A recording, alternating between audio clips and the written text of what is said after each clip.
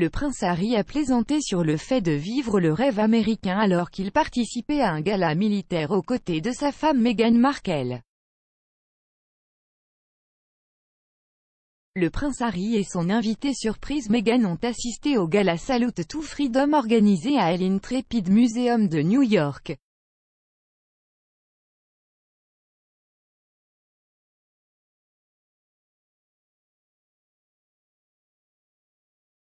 Harry a commencé son discours en présentant les lauréats en rappelant sa dernière visite au musée et en faisant une blague.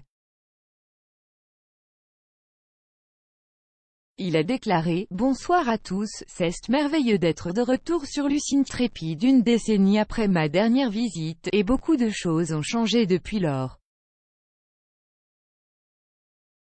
La semaine dernière, je suis allé faire un tour sur elle Oscar Mayer Wienermobile, comment est-ce pour vivre le rêve américain? Les Wienermobile sont des voitures emblématiques en forme de hot dog sur un petit pain utilisé aux États-Unis pour promouvoir les produits Oscar Mayer. Dans son discours, Aéry a célébré la force du personnel militaire qui a subi des blessures en service et à l'importance de fournir un centre communautaire pour ceux qui ont servi leur pays. Il a déclaré, beaucoup d'enters nous dans cette salle comprennent pourquoi les militaires se sentent souvent isolés après leur retour à la maison ou une fois qu'ils ont quitté les forces. N'est-ce pas? Pendant des années, nous, et nos familles, orientons toute notre vie autour de la mission, du devoir, de l'engagement et oui, de se dépêcher et d'attendre.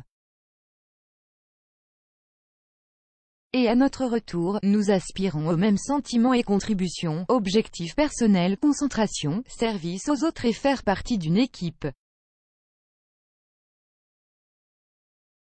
Je vis aux États-Unis depuis près de deux ans maintenant, je dois dire témoin de votre soutien à tous ceux qui se mettent en danger pour défendre nos libertés et nos libertés, c'est remarquable et extrêmement respecté.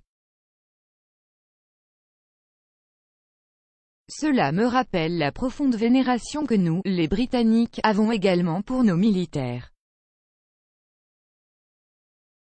Les communautés des forces armées de nos deux pays partagent un lien spécial, et je suis reconnaissant d'avoir servi à l'appui de notre alliance commune pendant de nombreuses années.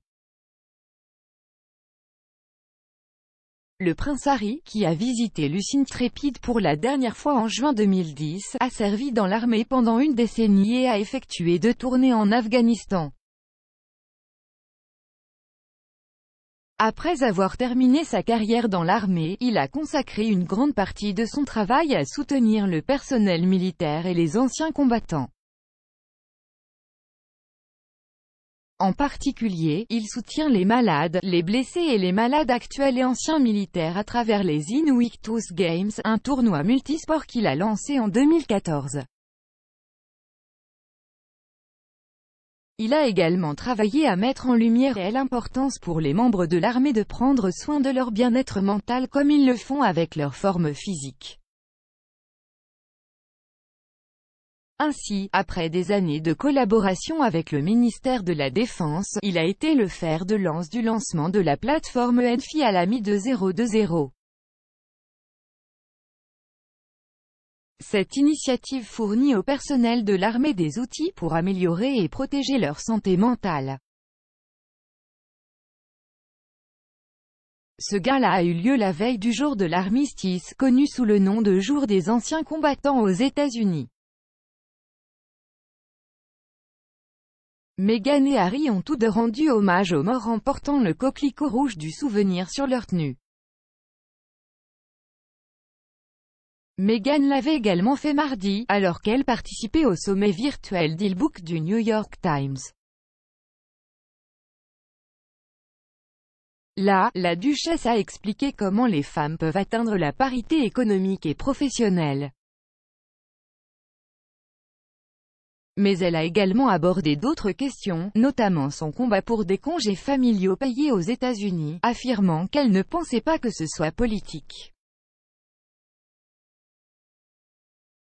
Elle a déclaré, franchement, je ne vois pas cela comme un problème politique.